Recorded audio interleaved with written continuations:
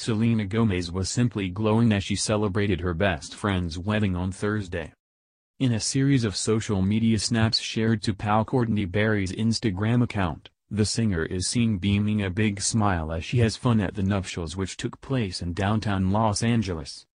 Gomez, 26, looked gorgeous in a black floor-length gown with embellished with jewels and sported scarlet red lips. Also celebrating with the newlyweds was Gomez's pal, former One Directioner Niall Horan, 25, who looked sharp in a blue suit and white shirt. Her friend Julia Michaels, who has collaborated on some of Gomez's tracks over the years, was also in attendance. The group of friends bundled into a photo booth for a few snaps and also posed together during the reception making use of a large mirror at the venue. Another guest at the event spotted Gomez dancing and laughing to one of her hits, Hands to Myself. When your girl's song comes on and we all party. At Selena Gomez they captioned the clip.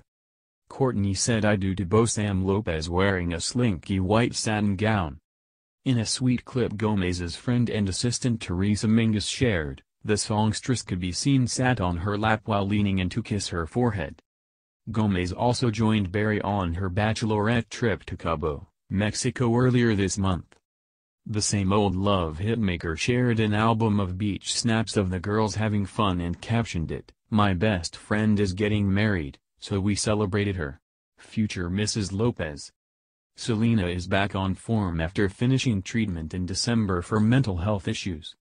In October she checked into rehab after suffering an emotional breakdown following multiple hospitalizations due to issues related to lupus and her kidney transplant.